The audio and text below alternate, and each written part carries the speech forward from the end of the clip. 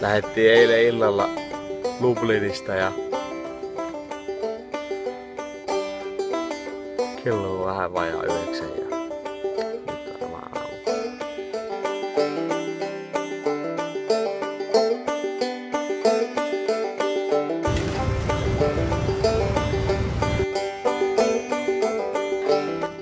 Ei taho kestää mun käsittelyssä nää renkaat.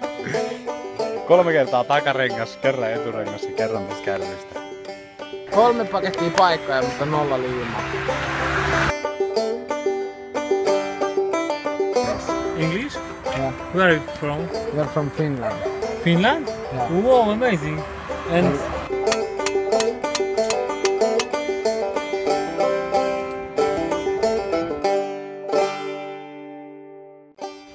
Tänään poltetaan Krakovaa, eikö? Jos me ei tänään polta Krakovaa, niin sitten se on huomista välipäästä.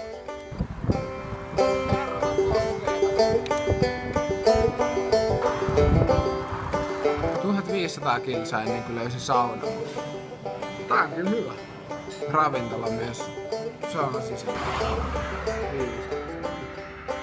Aleksilta meni pinna poikki. Tai siis Aleksin pyörästä meni pinna.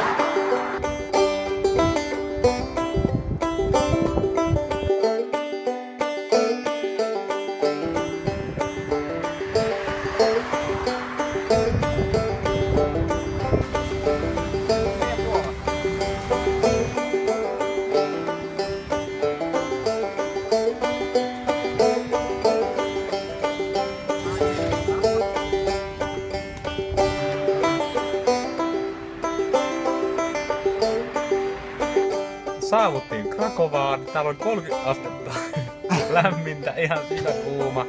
Eka kerta Allunkaan lähdettiin ilman minkäänlaisia kantamuksia tai kärryjä.